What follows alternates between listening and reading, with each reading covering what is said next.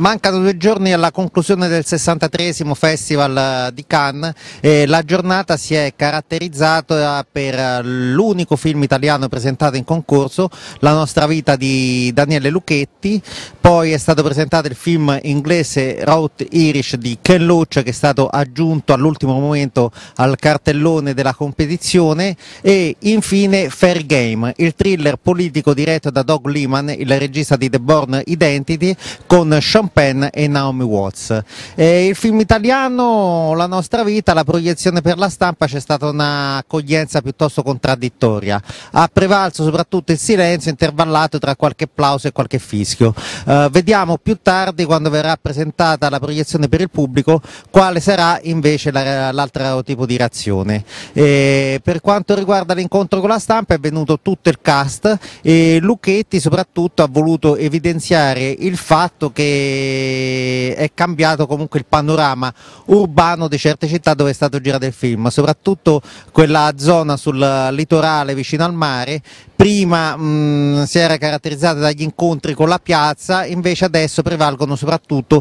i centri commerciali che diventano uh, dei luoghi di incontro. Eh, per quanto riguarda Germano invece ha detto che lui si è avvicinato a questo personaggio, questo personaggio comunque caratterizzato da un lutto che poi fa scattare un qualcosa di diverso in lui, come se volesse sfidare il proprio destino e quindi va alla ricerca di un benessere da dare ai propri figli che lui non ha mai avuto il personaggio di Germano lo ha detto che per la parte di Claudio si è voluto preparare nel modo più professionale possibile, non rinunciando comunque alla propria interiorità. Per quanto riguarda Fair, Games, eh, Fair Game era assente Sean Penn, come era già stato precedentemente annunciato, però Naomi Watts ha parlato molto del personaggio di Valerie Plame, l'agente segreto della scia a cui la storia è ispirata. È una storia vera e Naomi Watts ha incontrato la vera protagonista anche se ovviamente ovviamente non è riuscita a rintracciarne, carpirne e prenderne tutti i segreti.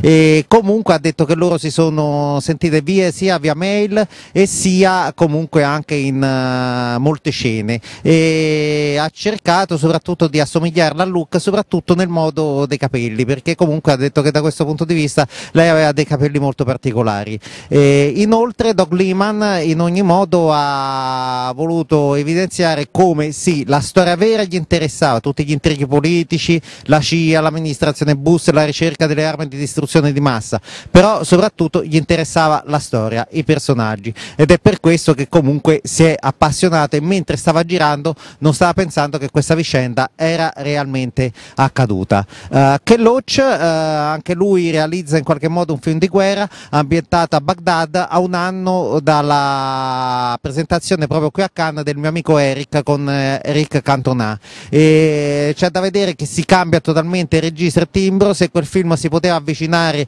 a una commedia, qui invece eh, i risvolti sono più drammatici, ci sono anche degli sguardi sulla guerra, sguardi su Baghdad, ma poi eh, l'ambientazione eh, e la storia prevale sull'amicizia di questi due personaggi da Cannes Simone Emiliani.